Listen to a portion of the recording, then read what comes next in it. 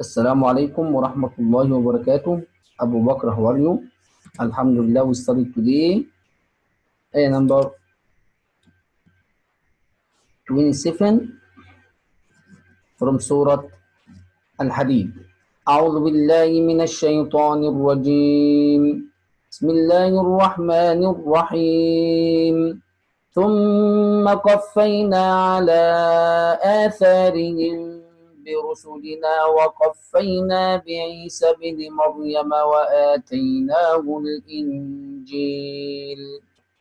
وجعلنا في قلوب الذين اتبعوه رأفة ورحمة ورهبانية ورهبانية ابتدعوها ما كتبناها عليهم إلا ابتغاء رضوان الله فما رعوها حق رعايتها فآتينا الذين منهم فآتينا الذين آمنوا منهم أجرهم وكثير منهم فاسقون Okay, this is, this is your homework. السلام عليكم.